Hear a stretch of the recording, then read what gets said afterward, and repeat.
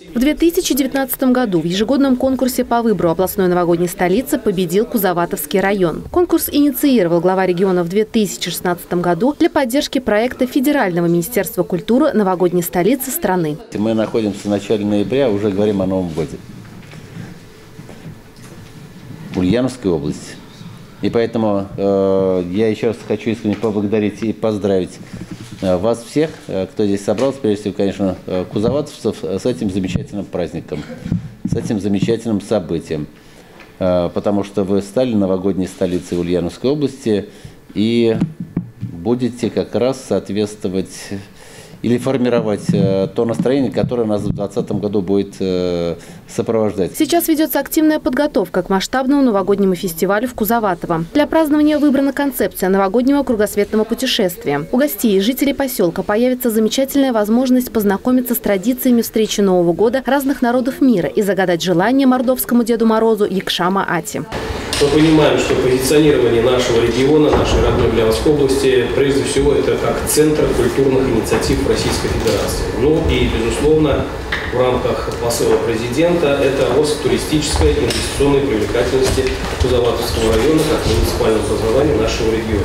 Старт проекта «Новогодняя столица. Вокруг света за Новый год» пройдет 20 декабря и ознаменуется шумным гастрономическим фестивалем «Попробуй Новый год на вкус», а также пятым региональным конкурсом снежных скульптур в царстве Снежной Королевы. 22 декабря планируется областной творческий конкурс под созвездием Близнецов или «Хотим Снегурочки». В тот же день откроется Земский театр, премьеры спектакля «Щелкунчик» и «Мышиный король», новогодний карнавал с участием представителей театральных коллективов муниципалитетов. 27 число декабря станет праздником для всех ульяновцев. В Кузоватово приедет настоящий Дед Мороз из Великого Устюга. Все новогодние гуляния продлятся до 8 января включительно.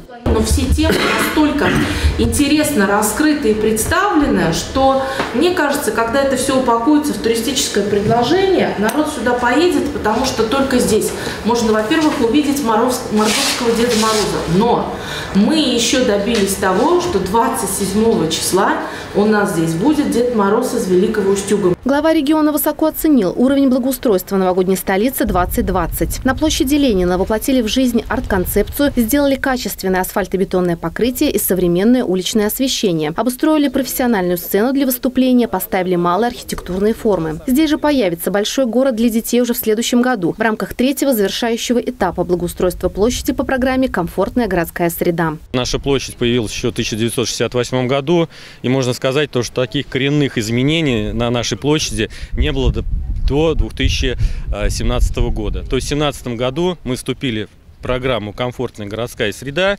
и здесь у нас родился проект – проект благоустройства площади, который предусматривает три этапа. Вот два этапа мы завершили. Жители приходят отдыхать на площадь Ленина целыми семьями. Здесь можно покататься на роликах и велосипеде, почитать книгу на удобных лавочках, послушать концерт местных коллективов вечером и весело провести время с детьми в сквере. Площадь просто стала очень удивительной.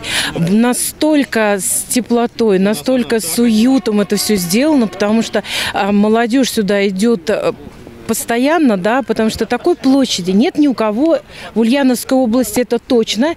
И я думаю, что и нигде, в принципе, по России. Сергей Морозов посоветовал организаторам проекта украсить к Новому году еще и прекрасные ели, которые находятся на площади Ленина, а также поработать над рекламой туристической программы, чтобы не только ульяновцы, но и вся Россия могла познакомиться с местным колоритом и самобытностью района. Наталья Чумаченко, Данил Сурков. Новости Улправда ТВ.